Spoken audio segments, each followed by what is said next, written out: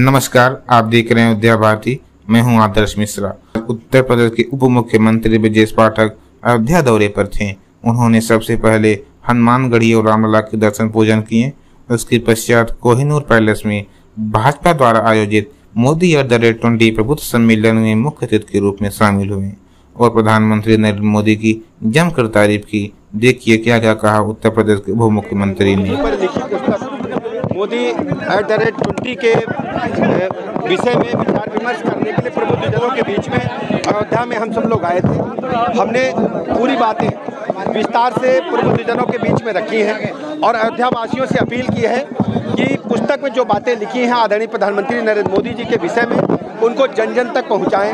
आदरणीय प्रधानमंत्री जी की जो गरीब कल्याण की योजनाएँ हैं जो आम जनमानस को मिल रही हैं।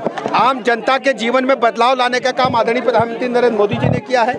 वो जन जन तक हम लोगों को पहुंचाना है और उत्तर प्रदेश में घर घर तक इस पुस्तक के बारे में हम सबको चर्चा करनी है।